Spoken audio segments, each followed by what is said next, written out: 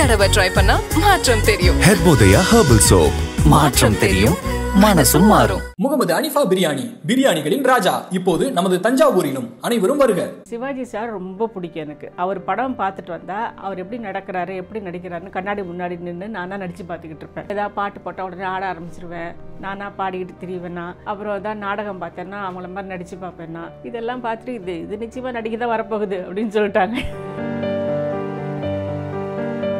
இப்போ வெளியூர்லாம் நாடகத்துக்கு போவோம். நாடகத்துக்கு போனால் அப்பா அம்மா கூட வருவாங்க.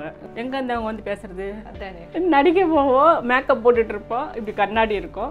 பின்னாடி அவங்க வருவாங்க. கண்ணாடியில் பார்த்து எப்படி இருக்கேன்பாங்க அவ்வளோதான் ம்.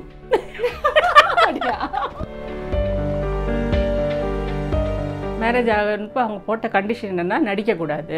எங்கள் வீட்டில் கொஞ்சம் வருத்தம் தான் அப்பா அம்மாக்கெல்லாம். ஏன் முடியாதுன்னு சொல்லிட்டு? நாளைக்கே உனக்கு சம்பாத்தியம் பத்தலை வருமானம் இல்லைன்றப்போ நீ இதைத்தானே நம்பி வரணும். அந்த மாதிரி சூழ்நிலை வரும்போது பார்த்துக்கலாம் அப்படின்ட்டு வந்தது அந்த சூழ்நிலை. ரொம்ப கஷ்டப்பட்டோம். இவங்களுக்கும் வேலை போயிடுச்சு. குழந்தை கையில் இருக்கு. அடிக்கடி டாக்டர் வீட்டுக்கு போகணும். குழந்தைய போய் செக்கப் பண்ணணும். திடீர்னு கையில் பணம் இருக்காது. நம்ம யார்ட்டையும் போய் கேட்கவும் முடியாது. பயங்கர கோபம் வரும். ஹார்ட் அட்டாக் அவங்களுக்கு. வீட்டுக்கார் இறந்ததுக்கப்புறம் எனக்கு ஒன்றுமே புரியல. சரி நம்ம இந்த ஃபீல்டில் இருந்தாகணும். வேறு வேலை தெரியாது. இதை விட்டால் பாத்திரம் தான் கழுவப்படணும் அந்த மாதிரி தான் நிலமை வேறு வழி கிடையாது. நாடகங்கள் படங்கள்ல நடிச்சிருந்தாலும் பெரிய லெவல்ல நான் சம்பாதிக்கல அப்படின்ற ஒரு எண்ணம் இருக்கா மேம் கடவுள் நமக்கு இவ்வளோ திறமை கொடுத்துருக்கான் ஏன் நம்மளால வர முடியல? அப்படின்ற ஒரு கொஸ்டின் மார்க் இன்னும் எனக்கு இருக்கு. அது எதனாலன்னு தெரியல. நடிகை சுமதி ஸ்ரீ மேம் தான் இப்போ நம்ம பார்க்க போறோம். வணக்கம்மா. வணக்கம். உங்களோட அப்பா வந்து தங்கராஜ். அவங்க நிறைய திரைப்படங்கள்ல நடிச்சிருக்காங்க அப்படின்றது நாங்க தெரிஞ்சுக்கிட்டோம். பட் நிறைய பேருக்கு இன்னும் தெரியாது. ஸோ நீங்க எப்படிமா சினிமாக்கு வந்தீங்க? உங்க அப்பா பத்தி சொல்லுங்க. முதல் மரியாதை படம் பார்த்துருப்பீங்க. அதில் எனக்கு ஒரு உண்மை தெரிஞ்சாகணும்னு சொல்லுவார் ஏகே வீராசாமி. அவர் தான் எங்கள் பெரியப்பா. அவர் தான் வீட்டுக்கு கூட்டு வந்தாராம் அப்பாவை.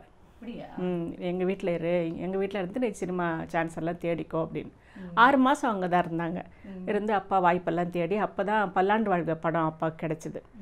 அதில் வந்து மெயின் வில்லன் கிட்டத்தட்ட அப்போ இருந்த பெரிய வில்லன்கள்லாம் அதில் வில்லன் கைதிங்களாக நடிச்சிருப்பாங்க. அவங்களுக்கு மேலே ஒரு வில்லனாக அப்பா தான் வருவாங்க. எம்ஜிஆருக்கு டைரக்ட் வில்லனாக வருவாங்க. அந்த மாதிரி பண்ணாங்க. அதில் பெரும்புள்ளின்னு அந்த கேரக்டர் பேர். அந்த படம் நல்லா போச்சு. நூறாவது நாள் விழாவும் வந்தது. அந்த விழாவில் அப்பாவுக்கு ஷீல்டு கொடுக்கும்போது தங்கராஜன் சொல்லி கூப்பிட்டாங்க. அப்படின்னு எம்ஜிஆர் சார் சொல்லியிருக்காரு. இண்டஸ்ட்ரியில் வந்து நாலஞ்சு தங்கராஜ் இருக்காங்க. மொட்டையா தங்கராஜ்னா இவர் யாருன்னு எப்படி தெரியும்? நடி எம்எல்ஏவாக தானே நடித்தார் எம்எல்ஏ தங்கராஜன்னு கூப்பிடுங்க. இனிமேல் எந்த படத்தில் இவரை புக் பண்ணாலும் எம்எல்ஏ தங்கராஜன் தான் போடணும். ஓ அந்த படத்துல அப்பாவோட கேரக்டர் எம்எல்ஏ. ஆமாம் ஓகே அந்த மாதிரி சொல்லி ஷீல்டுலேயும் அதே மாதிரி போட்டு அவர் கையால் கொடுத்து அந்த பேர் சேர்த்தது. ஓ அதனால தான் எம்எல்ஏ எம்எல்ஏ தங்கராஜ். ஓகே. அதுதான் சொல்லுவாங்க நிரந்தர எம்எல்ஏ. அப்படிம்பாங்க. அம்மாவும் வந்து ந- நடிகை தான் அவங்களும் ஸ்டேஜ் ஆர்டிஸ்ட்டு திலானா மோகன் அம்பாளில் நடிச்சிருக்காங்க அம்மா. ஓ. பாலையா சாருக்கு வழி சொல்லுவாங்க. Okay. ஏய், கிழக்கால திரும்பி வழக்கால போய் அப்படிம்பாங்க. அந்த பக்கம் இருக்கு. பத்தினி அம்மா வீடு கேட்பாங்க. ஓகே. மோகனா வீட கேக்குறீங்களா? இப்படியே மேற்கால போய் வடக்கால திரும்பி தெற்கால நுழைஞ்சு அதுக்கு அம்மா சொல்லுவாங்க. அந்த அதில் நடிச்சிருக்காங்க. அந்த மாதிரி ஒரு அம்மா ஒரு பத்து இருபது படங்கிட்ட நடிச்சிருக்காங்க. சோ உங்களுக்கு அதனாலயே சின்ன வயசுலயே ஒரு ஆர்வம் வந்திருக்கும். ஆமா இல்லையா? இவங்கெல்லாம் நடிச்சதை பார்த்து எனக்கு. ரொம்ப பிடிக்கும். சின்ன பிள்ளையில நான் சும்மாவே இருக்க மாட்டேனா. ஏதாவது பாட்டு போட்டால் உடனே ஆட ஆரம்பிச்சிருவேன். நானா பாடிக்கிட்டு திரிவேனா. அப்புறம் ஏதாவது நாடகம் பார்த்தேன்னா அவங்கள மாதிரி நடிச்சு பார்ப்பேன்னா சிவாஜி சார் ரொம்ப பிடிக்கும் எனக்கு. அவர் படம் பார்த்துட்டு வந்தா அவர் எப்படி நடக்கிறாரு எப்படி நடிக்கிறாருன்னு கண்ணாடி முன்னாடி நின்று நானா நடிச்சு பார்த்துக்கிட்டு இருப்பேன். இதெல்லாம் பார்த்துட்டு இது இது நிச்சயமாக நடிக்க தான் வரப்போகுது அப்படின்னு சொல்லிட்டாங்க. எனக்கு பன்னெண்டு வயசு இருக்கும்போது அம்மா கிட்ட கேட்டேன். அம்மா எனக்கும் உங்களை மாதிரி நடிக்கணும்னு ஆசையாக இருக்குது நானும் நடிக்க வரேம்மா அப்படின்னேன். இல்லைப்பா அதெல்லாம் ரொம்ப கஷ்டம் அப்படின்னாங்க. பரவாயில்ல நீங்கள் நடிக்கலையா? அதுமா நான் நடிக்கிறேன் அப்படின்னு சொல்லிட்டு அம்மா கூட ட்ராமாலாம் பார்க்க போவேன். ஓகே. அப்படி போனப்போ தான் இவர் ஹெரான் ராமசாமின்னு ஒரு பெரிய ஆர்டிஸ்ட் அவர். அவரோட ட்ரூப்பில் பாரதியார்னு ட்ராமா போட்டிருந்தாங்க. அந்த ட்ராமாவில் நடிக்க அவருக்கு பொண்ணாக நடிக்கக்கூடிய பொண்ணு வரல ஒரு குழந்தை. அப்போ நான் போயிருந்தேன் ட்ராமா பார்க்க போய் ரிஹர்சல் பார்க்க போயிருந்தேன். போயிருந்தப்போ அவர் கேட்டார் யார் இது? அப்படின்னாரு என் பொண்ணு தான் அப்படின்னாங்க. நமக்கு ஒரு பாப்பா வரல இந்த பாப்பாவை நடிக்க வைக்கலாமா? அப்படின்னாரா. இந்த பாப்பா நடிக்குவான்னு தெரியலையே அப்படின்னாங்க. அம்மா நான் நடிப்பேன் அப்படின்ட்டேன் நீங்க? ஓகே அதுக்கப்புறம் அங்கே நடிக்க ஆரம்பித்தேன் ஃபஸ்ட்டு ஃபஸ்ட்டு நான் நடித்தது வந்து புள்ளப்பூச்சின்னு ஒரு நாடகம். அதில் இந்த கேரக்டர் என்னோட கேரக்டர் பேரே புள்ளப்பூச்சி தான். ஓ. அது எதை கேட்டாலும் பயந்து மயக்கம் போட்டு விழுந்துரும். அப்படியா? உன்னை பொண்ணு பார்க்க வராங்கன்னா ஆ அட்டபக் அப்படியா? அந்த மாதிரி கேரக்டர் ஓ, சரி. அதனால ரொம்ப ஈஸியாக இருந்தது எனக்கு. கஷ்டமே இல்லாமல் யார் என்ன சொன்னாலும் பொத்துன்னு மயக்கம் போட்டு விழுந்துடும் ஓகே ஓகே அது நல்லா போச்சு. அதுக்கப்புறம் தான் ஹேரான் மாமா. பன்னெண்டு வயசுல பிள்ளைப்பூச்சி கேரக்டர் நல்லா என்ஜாய் பண்ணி நடிச்சேன். பட் ஆனா ஒரு மேடை நாடகங்கும் போது அது கரெக்டா பிளான் படி நடிக்கணும் இல்லையா? கொஞ்சம் கூட மாச. கணக்கில் ரிஹர்சல் பார்ப்பாங்கப்பா. இந்த நான் பண்ணதெல்லாம் ஹிஸ்டாரிக்கல் ட்ராமாஸ் தான். ராஜாராணி கதை. கண்டிப்பா அது குறைஞ்சது ஒரு மாசத்துக்கு நல்ல ரிஹர்சல் பார்ப்பாங்க. ஓ. அதாவது நமக்கு டயலாக்ஸ் வந்து சரளமா வரணும். யாராவது விட்டுட்டா கூட நம்ம எடுத்து பேசி அட்ஜஸ்ட் பண்ற மாதிரி இருக்கணும். அந்த அளவுக்கு நம்ம தயாரா இருக்கணும். ஓ. நீங்க அப்போ ஸ்கூல் போனீங்க? இல்ல நாடகங்களை நடிச்சீங்க? எப்படி பேலன்ஸ் பண்ணீங்க? செவன்த்து படிக்கும்போது நடிக்க வந்துட்டேன். அதுக்கு டென்த் வரைக்கும் தான் படிக்க முடிஞ்சுது. நமக்கு வந்து புக்கு புக்காக வரும் படிக்கிறதுக்கு. ஒரு ரேக்கு ஃபுல்லாக மளிகை சாமான் இருக்குதோ இல்லையோ என்னோட ஸ்கிரிப்ட்ஸ் இருக்கும். டெய்லி ஒன்று ஒன்றா உட்காந்து பாடம் பண்ணிக்கிட்டு எடுத்து எடுத்து போடுறது தான் வேலை அப்பா என்ன காஃபி கூட போட விட மாட்டாங்க. எல்லாமே அவங்க பார்த்துக்குவாங்க தூங்குறதுக்கு எனக்கு நேரம் இருக்காது. இங்கேருந்து இன்னொரு இடத்துக்கு ட்ராவல் பண்ணுறோம்ல அந்த ட்ராவலிங் டைம் தான் எனக்கு தூக்கம். அவ்வளவு நாடகங்கள்ல அவ்வளோ பிஸியாக இருந்தேன். இவ்வளோ நாடகங்கள்ல அந்த காலத்துல பன்னெண்டு வயசுல இருந்து நீங்க நடிச்சிருக்கீங்க. ஆனா நாடகத்துல இருந்து சம்பாத்தியம் அப்படிங்கிறது எந்த அளவுக்கு இருந்தது மேம் அந்த காலத்துல. சம்பாத்தியம் ரொம்ப கம்மிம்மா நான் ஃபஸ்ட்டு ஃபஸ்ட்டு வாங்கின சம்பளம் வெறும் பத்து ரூபா. ஓ.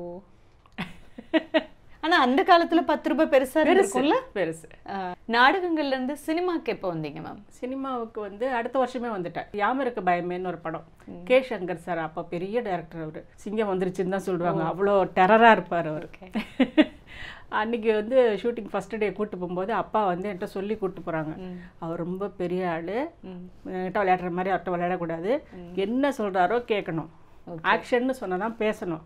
மற்றபடி நீ பேசவே கூடாது அப்படின்னாங்க. அன்னைக்கு வேலை அடக்குனது தான் அப்புறம் அங்கே போனதுக்கப்புறம் அதே மாதிரி மேக்கப் டெஸ்ட் பண்ணாங்க ட்ரெஸ் போட்டாங்க எல்லாம் ரெட்டை தடை போட்டு பாவாடை தண்ணியோட கொண்டு வந்து நிறுத்திட்டாங்க பொம்மை மாதிரி.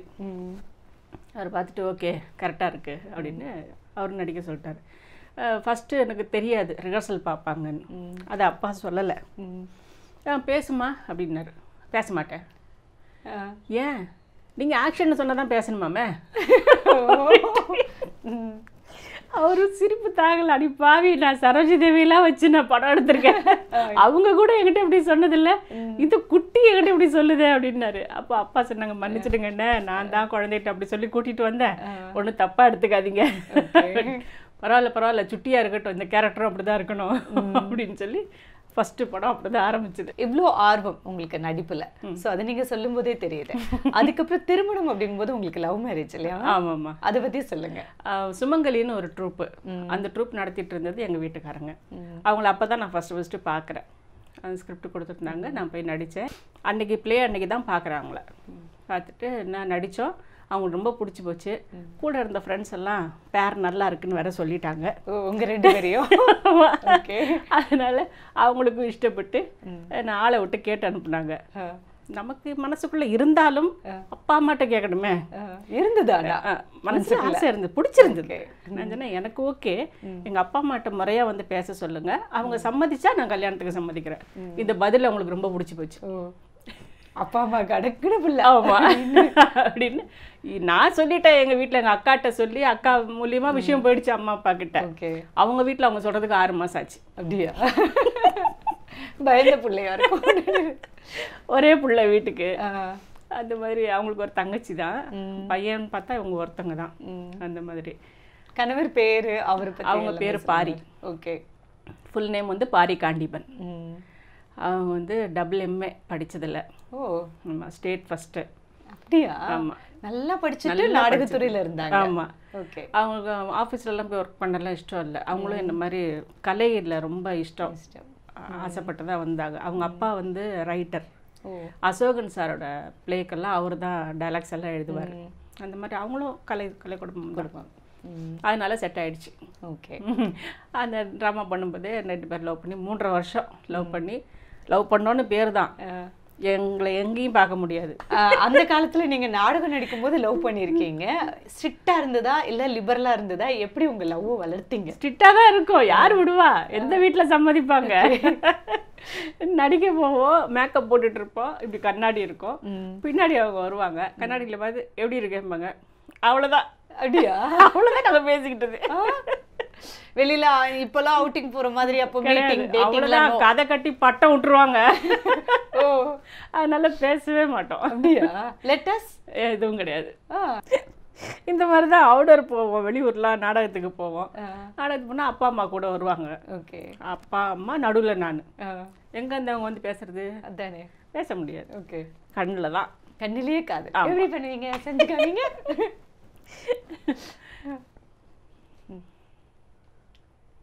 ம். அப்படியா? பட் அது ஒரு அழகான காதல். காலங்கள் இல்ல? ஆமா. மறக்க முடியாத நாட்கள். சூப்பர். அப்புறமா மேரேஜ் ஆயிடுச்சு. மேரேஜ் ஆயிடுச்சு. மேரேஜ் ஆகிறப்ப அவங்க போட்ட கண்டிஷன் என்னன்னா நடிக்கக்கூடாது. அவங்களோட அப்பா அம்மா. ஓ மாமனார் மாமியார் வீட்ல? எனக்கு இவங்களை ரொம்ப பிடிச்சதுனால நான் சரின்னு சொல்லிட்டேன். ஓ உங்களுக்கு நடிப்பு அவ்வளோ பிடிக்கும்? பிடிக்கும். நடிப்பை விட அவங்கள பிடிச்சதுனால நான் சரின்னு சொல்லிட்டேன். ஓகே. எங்கள் வீட்டில் கொஞ்சம் வருத்தம் தான் அப்பா அம்மாக்கெல்லாம். ஏன் முடியாதுன்னு சொல்லிட்ட. நாளைக்கே உனக்கு சம்பாத்தியம் பத்தலை வருமானம் இல்லைன்றப்போ நீ இதைத்தானே நம்பி வரணும். ஏன் வேண்டான்னு சொன்னேன். அந்த மாதிரி சூழ்நிலை வரும்போது பார்த்துக்கலாம் அப்படின்ட்டு வந்தது அந்த சூழ்நிலை. பாப்பா பிறந்து அவளுக்கு ஆறு மாதம் இருக்கும்போது ரொம்ப கஷ்டப்பட்டோம். இவங்களுக்கும் வேலை போயிடுச்சு. ரொம்ப கஷ்டப்பட்டு அதுக்கப்புறம் மாமனார் மாமியாரை கூப்பிட்டு உட்கார வச்சு மாமனாரை சொன்னேன் நீங்கள் வேணால் என் கூட வாங்க. நான் ஃபீல்டில் எப்படி இருக்கேன்னு பாருங்கள் உங்களுக்கு அனுப்பலான்னு த நம்பிக்கை வந்ததுன்னா அதுக்கப்புறம் என்னை நடிக்க அனுப்புங்க. இல்லைன்னா சொல்லிடுங்க நான் போக மாட்டேன். அப்படின்ட்டு. மாமனாரும் வந்தார் என் கூட ஷூட்டிங்க்கு வந்து பார்த்துட்டு ஒய்ஃப் கிட்ட போய் சொல்லியிருக்காரு. அது பாவண்டி அது பார்த்துக்கோ உட்காந்துருக்குது ஷாட்டு கூப்பிட்டா போயிட்டு வருது. நமக்கு எந்த பிரச்சனையும் இல்லை அது நடிக்கட்டும் அப்படின்ட்டாங்க. அதுக்கப்புறம் சினிமா வாழ்க்கை எப்படி போயிட்டு இருந்தது மேம் அப்போ வந்து கல்யாணத்துக்கு முன்னாடி நான் ஒரு நாற்பது படம் கிட்ட பண்ணேன். எல்லாமே தங்கச்சி கேரக்டர் தான். அப்போ தான் பண்ணேன். அப்போ தான் செந்துர பாண்டின்னு ஒரு படம் விஜய் சாரோட படம். அந்த படத்துக்கு நான் அவுடர் போயிருக்கேன். நான் பொள்ளாச்சி போயிருக்கேன். எங்கள் வீட்டுக்காரங்களும் படம் நடிச்சிருக்காங்க. அவங்க வந்து வீட்டில் விசேஷங்கள். அந்த படத்தில் பாக்கியராஜ் சார் படத்துக்கு அவங்க கோபிச்செட்டிப்பாளையம் போயிருந்தாங்க. இந்த ரெண்டு படமும் நாங்கள் முடிச்சுட்டு வந்ததுக்கப்புறம் தான் எங்களுக்கு கல்யாணம். ஓ சரி. நடிகர் சங்கத்தில் தான் நடந்தது. அப்படியா. தொண்ணூற்றி அஞ்சு. ஓகே. உங்களோட காதல் கல்யாணம் அந்த வாழ்க்கை வந்து சந்தோஷமா போயிட்டு இருக்கும்போது உங்களுக்கு ஒரு பெரிய இடி மாதிரி இல்ல? ஆஹ், அவருடைய மறைவு கணவருடைய மறைவு கண்டிப்பா. என்ன. நடந்தது மேம் அந்த டைம்ல ஹார்ட் அட்டாக் அவங்களுக்கு. ரொம்ப கோவக்கார மனுஷன். நான் எவ்வளோ சாஃப்டோ அதுக்கு அப்படியே அகேன்ஸ்ட் அவங்க. பயங்கர கோவம் வரும். நான் எல்லாத்தையும் சகிச்சுக்கிட்டு ஓகே ஓகே ஓகே. யாராவது ஒருத்தர் விட்டு கொடுக்கணும் இல்லையா? இல்லைன்னா குடும்பம் நடத்த முடியாது. நான் கொஞ்சம் அப்படியே பொறுமையாக போயிடுவேன். அந்த மாதிரி தான் இருந்தது ஹார்ட் அட்டாக் வந்து அவங்க இறந்துட்டாங்க. ஆச்சு பதினெட்டு வருஷம் ஆச்சு. ஆக்சுவலா காதல் கல்யாணம் நினைச்ச பொண்ணை கட்டிக்கிட்டு இருக்காங்க. என்ன விஷயத்துக்காக கோவம் வரும்? அது. வேண்டாத வரும் கோவம்னு தோணும்ல? வருமானம் கம்மி. ஆனா அந்த வரு என்ன வருமானமா இருந்தாலும் அந்த வாழக்கூடிய அதுக்குள்ளேயே வாழற ஒரு சாமர்த்தியம் உங்களுக்கு இருந்தது இருந்தது. இருந்தாலும் அது பத்தலை. குழந்தை கையில் இருக்கு. அடிக்கடி டாக்டர் வீட்டுக்கு போகணும். ம். குழந்தைய போய் செக்கப் பண்ணணும். திடீர்னு கையில் பணம் இருக்காது. நம்ம யார்ட்டையும் போய் கேட்கவும் முடியாது. டிவி ஃபேமாக இருக்கிறதுனால பக்கத்து வீட்டில் போய் நம்மளால போய் நிற்கவும் முடியாது. சொல்லுவாங்க ஏதாவது பேசுவாங்க இல்லையா? தான் நடிக்கிறாங்க நிறைய சம்பாதிக்கிறாங்கன்னு நினைப்பாங்க. ஆனா ரியாலிட்டி அப்படி இல்ல இல்லை. வெளியில் அவங்க எல்லாரும் நினைக்கிற அளவுக்கு இல்லை. சம்பாத்தியம் கம்மி தான் அவர் மறைஞ்சிட்டதுக்கு அப்புறமா அது உங்களுக்கு நிஜமா பேரிடியா இருந்திருக்கும் இல்லையா? ஒரு யா- அவர் கூட ஒரு எட்டு வருஷம் நீங்க திருமண வாழ்க்கையில இருந்திருக்கீங்க. ஓகே. உங்க கணவர் கூட இருந்த அந்த ஒன்பது வருட திருமண வாழ்க்கை திடீர்னு ஒரு ஹார்ட் அட்டாக்ல மறைஞ்சிருக்காருங்கும் போது ரொம்ப கஷ்டமா இருந்திருக்கும். அதுக்கப்புறமா எப்படி லைஃபை எதிர்கொண்டீங்க மேம் ஆஹ், ஒண்ணுமே புரியல எனக்கு. கண்டை கட்டி காட்டில் விட்ட மாதிரி தான் இருந்தது. என்ன பண்ணுறதுனே தெரியல. அப்போ தான் அப்பாவும் அம்மாவும் சொன்னாங்க. நீ ஏம்மா வருத்தப்படுற? கையில் வெண்ணெய் வச்சுட்டு நெய்க்கி அலையிற? உனக்கு கையில் தொழில் இருக்கு.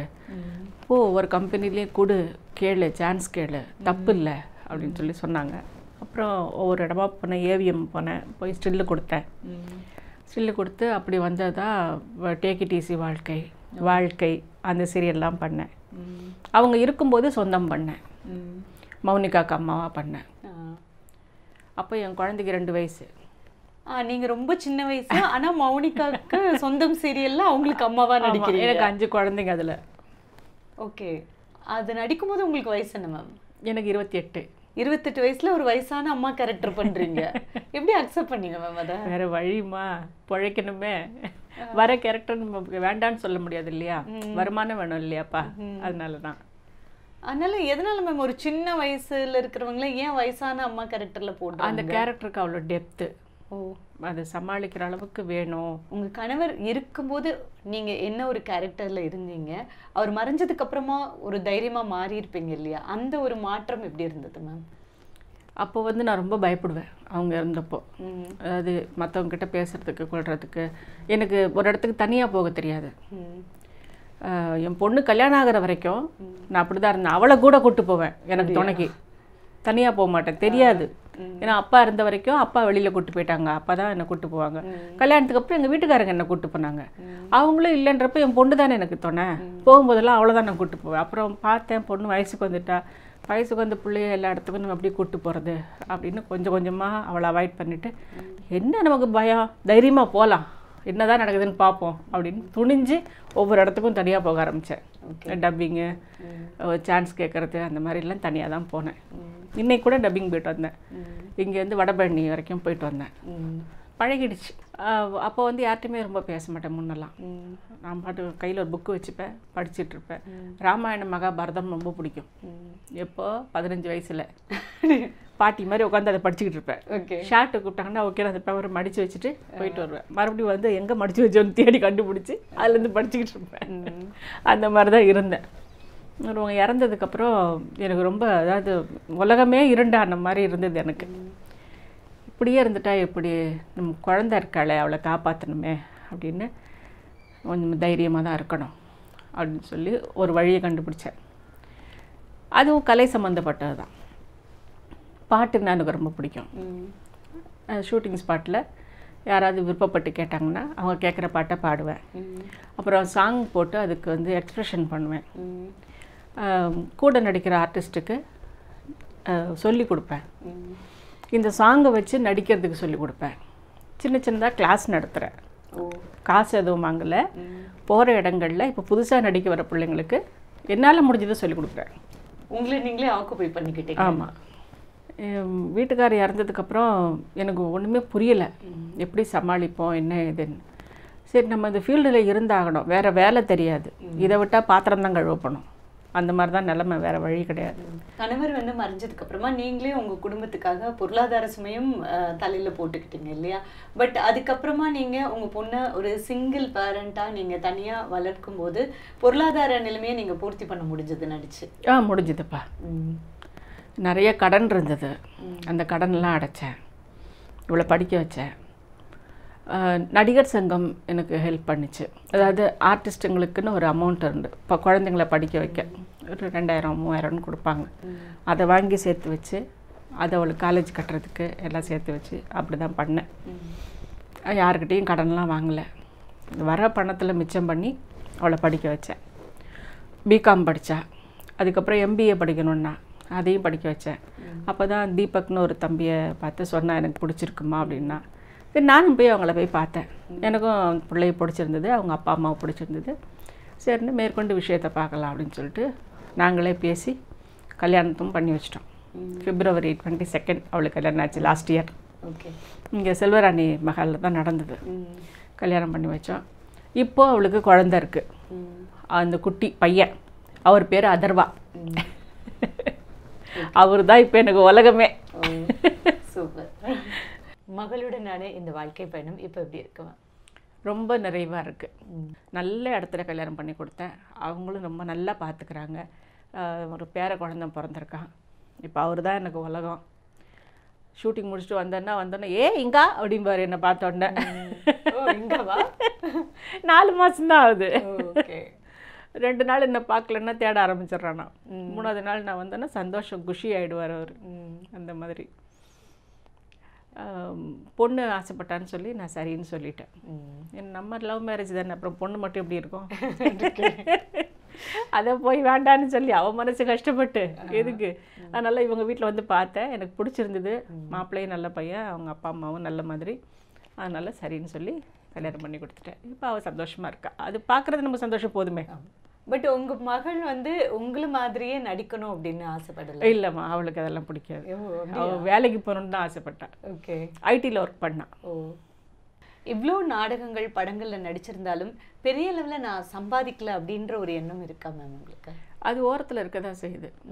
கடவுள் நமக்கு இவ்வளோ திறமை கொடுத்துருக்கான் ஏன் நம்மளால் வர முடியலை? அப்படின்ற ஒரு கொஸ்டின் மார்க் இன்னும் எனக்கு இருக்குது. அது எதனாலன்னு தெரியல. எந்த இடத்துல அது தவறுது அப்படின்னு நினைக்கிறீங்க மேம் பொருளாதாரம் தான். ம். நமக்கு வந்து அந்த அளவுக்கு வசதி கிடையாது இல்லையா? ம். இப்போது ரிச் கேரக்டர் பண்ணுறாங்கன்னா அவங்களுக்கு வந்து நிறைய பட்டு சாரீஸ் ஜுவல்ஸ் நிறைய வேணும். அதெல்லாம் அவங்கவுங்க தான் வாங்கிப்பாங்க சீரியலில் படத்துலையாவது படம் எடுக்கிறவங்க கொடுப்பாங்க. சீரியலை பொறுத்த வரைக்கும் ஆர்டிஸ்ட்டுங்க தான் எல்லாமே வாங்கணும். ஹீரோ ஹீரோயின்ஸ் மட்டும் அவங்க கொடுத்துருவாங்க. மற்ற எல்லாரும் அவங்கவுங்க புடவை அவங்கவுங்க நகை தான். ம். அது நம்மகிட்ட இருக்குன்றது வெளியில் தெரியாது. ஓ. நம்ம எப்போவுமே பார்க்கறதுக்கு பரிதாபமாக இருக்கிறோமா? வரும்போதே கிளிசன் பாட்டிலில் தூக்கிட்டு வந்துருன்றுவாங்க. முடிச்சு வச்சு ஓகே. நானும் கேள்விப்பட்டிருக்கேன். நீங்க செட்டுக்கு போனா அலறதுக்காக ஸ்பெஷலா கிளிசரின்லாம் கொடுக்கவே போட வேண்டாம். அழணும்னு சொன்னாவே நீங்க கண்ணீர் விட்டுடுவீங்க அப்படின்னு. அது எப்படி மேம் அது? அது ட்ராமா ட்ரைனிங் அது. அப்படியா? மனசால நினைச்சாவே கண்ணுல கண்ணீர் வந்துடுமா? அதுக்கு வந்து ஒரே ஒரு டாக்டிஸ் இருக்கு. அது நான் கற்றுக்கிட்டது கமல் சார்கிட்ட இருந்து. அது எப்படிமா அழணும் அப்படின்னா எப்படி உடனே கண்ணீர் வரும்? நம்ம லைஃப்பில் எவ்வளோ நடந்திருக்குப்பா. இல்லையா? ஏதாவது தாங்க முடியாத வேதனைகள்லாம் இருக்குது அதை ஒரு நிமிஷம் நினச்சோம்னா போதும். கண்ணில் கண்ணீர் வந்துடும் அதான் நான் ட்ராமாவில் பண்ண சீனு. நான் ஜெயலலிதா சார்கிட்ட பேசுகிறேன் அதுக்கு என்ன ஏற்பாடு செய்யணுமோ அதை நான் செஞ்சுறேன். உன் குழந்தைய நீ கண்டிப்பாக பார்க்கலாம்.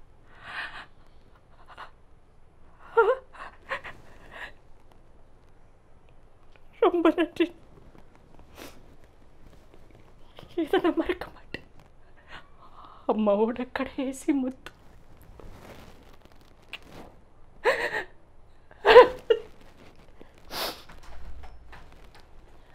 Mm-hmm.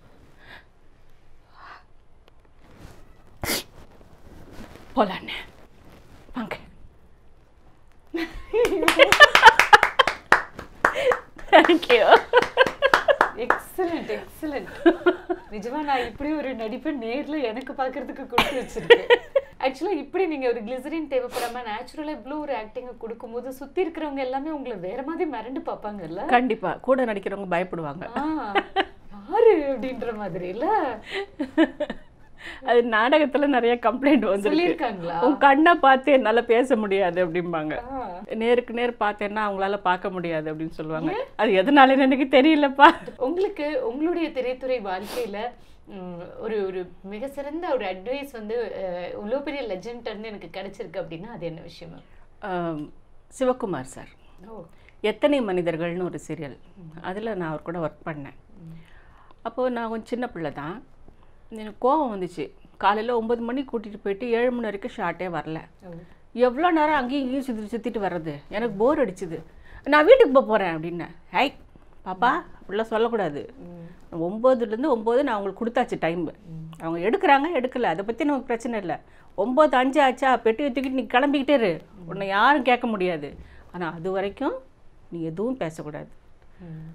கொடுத்துடணும்டா. அது அவங்க டைம்ப்பா அப்படின்னு.